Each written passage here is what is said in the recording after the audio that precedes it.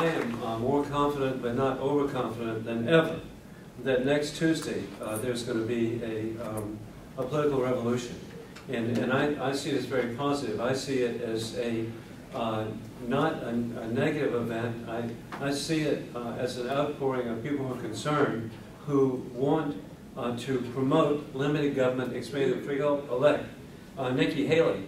Uh, we will have the proper distribution of congressional seats in South Carolina. That's because we will be able, through the State House, Senate, and Governor, to uh, properly draw the district line.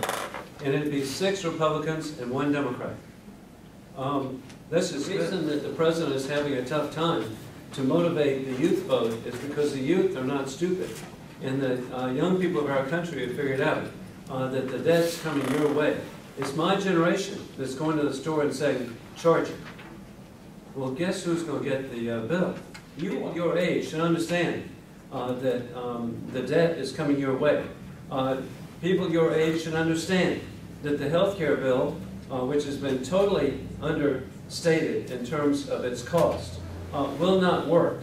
You're going to be paying for it. We're the party of KNOW, and that is that uh, we are the party of alternatives. Uh, every issue that you can name, we have had a positive alternative, and we will have a positive. I want you to know, I, uh, for your, uh, I've been wearing my Gamecock pin now for a couple of weeks, uh, a week prior to the Alabama game, so I've kept it on. I, I don't know what happened in Kentucky. Okay, I can't take credit or blame.